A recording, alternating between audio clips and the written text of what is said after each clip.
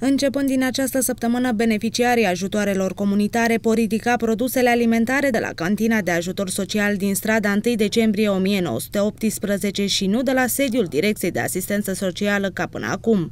Primăria Giurgiu a hotărât să schimbe locația de unde beneficiarii își ridicau produsele de la Uniunea Europeană pentru ca pensionarii să nu mai parcurgă distanțe lungi, în acest caz până în zona Giurgiu Nord. Deși locația s-a schimbat de două zile, niciun giurgiuvean nu a venit până acum să-și ridice produsele. Programul de distribuire a ajutoarelor este de luni până vineri dintre orele 8-14.30, fără a se ține cont de ordinea alfabetică a numelor.